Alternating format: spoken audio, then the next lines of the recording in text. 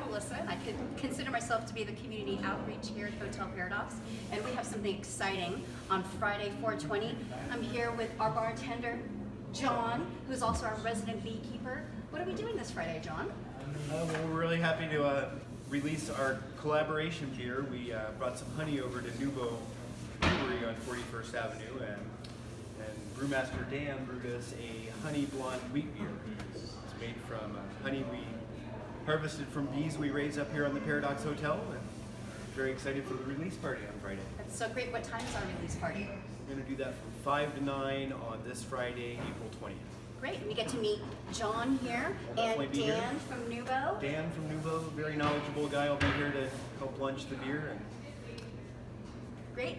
Come on down.